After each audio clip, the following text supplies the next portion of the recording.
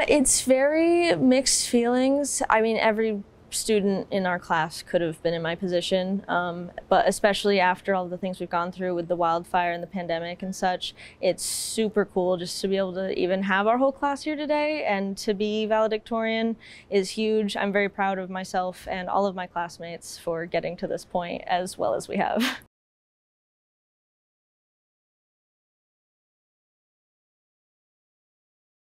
I will be going to Oregon State University to pursue forestry engineering.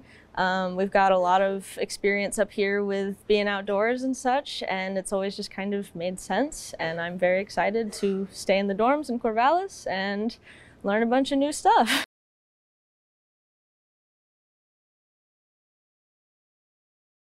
I am, of course, excited to move on, but it's definitely bittersweet because we have to leave this wonderful community that has always been here. I'm lucky enough to have been here since kindergarten, and I can say that the staff and students have always been as supportive and amazing as they could possibly be.